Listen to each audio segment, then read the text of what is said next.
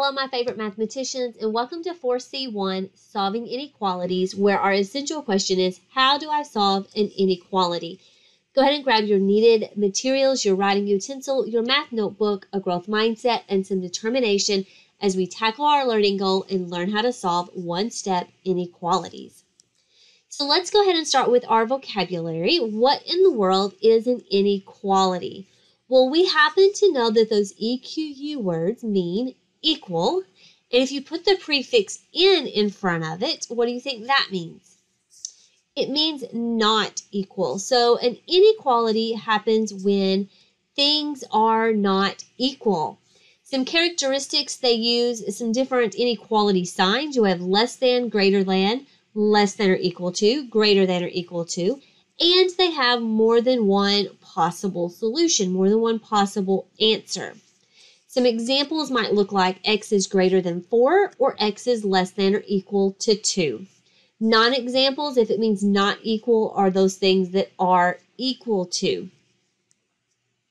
So here are the four different signs. Again, we have less than, greater than, less than or equal to, and greater than or equal to. So we would use inequalities in these different situations. If I tell you, for example, on the today's quizzes practice, you have to score at least an 80%. That means you can score an 80% or anything bigger. There's not one specific score that you have to get. Okay? This is new in that our sign has changed, but it's not new because when we solve inequalities, we solve them the same way we do equations. So in that way, we're not really learning anything new here. Let's go ahead and take a look at our first one. 4x is greater than 12.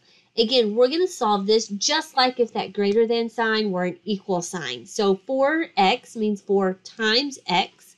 We're going to do the opposite or the inverse and divide by 4 on both sides.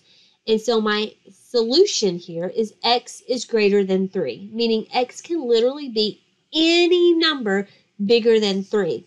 So some possible solutions would be 4, 8, and 10. Those are all bigger than 3.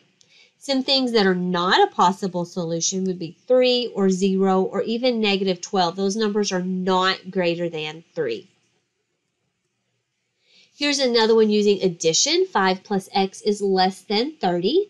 Again, we want to get that x by itself, so we're going to subtract 5 from both sides and that is going to leave us with x is less than 25. So possible solutions, any number less than 25, but some of those could be 20, 15, or 4. Things bigger than 5 or greater than 5 are not possible solutions. So 25, 30, and 47 would not work in this situation. One more that's just a little bit different because the x is on the right side of the sign instead of the left side, but it's a subtraction problem. So we're going to do the opposite and we are going to add 0.08 to both sides.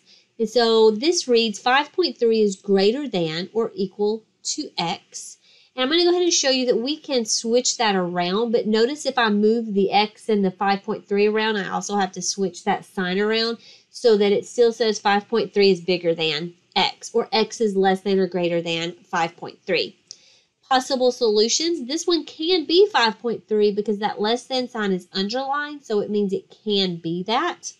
Or it could be 4 or 3.2. Things it cannot be, anything bigger than 5.3, so 6 or 8.8 or 9.2.